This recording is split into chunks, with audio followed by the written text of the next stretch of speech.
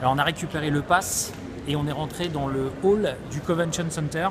Donc euh, là, normalement, on n'a pas le droit de filmer. Il y a de grandes chances qu'on se fasse virer. Donc venez les gars, on va rentrer. On va vous montrer un petit peu. Bah, on peut pas rentrer euh, dans le salon. Par contre, on peut montrer bah, toutes les, les petites affiches qu'il y a dans ce hall. Donc là, ici, vous voyez, il y a du Gauntlet qui est, euh, qui est présent. Donc, euh, il y a du Destiny. Regardez, magnifique euh, statue de Destiny. Tu le vois bien? Ouais, je le filme. On a- ah. Parce qu'on est français. We are French.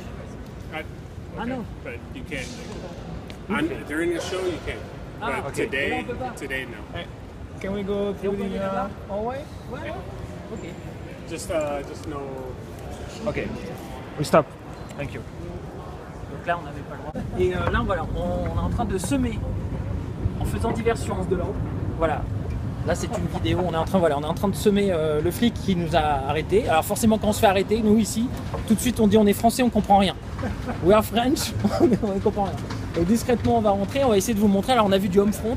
Il y a du Dying Light euh, juste à ma droite. Alors, vous voyez pas grand chose. Il y a du Lego Batman 3.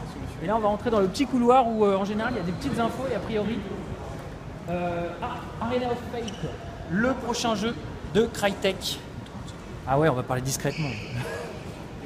Et là, voilà, le petit couloir avec des jeux qui sont présentés, tranquillement, on se balade.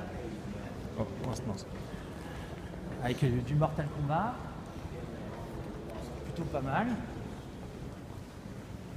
Donc là, euh, on vous explique, en fait, il y a deux grands halls. C'est ça le 3, deux grands halls qui sont séparés par ce long couloir. qu'on fait euh, régulièrement entre deux interviews, tout le temps. Donc euh, on a des jambes d'acier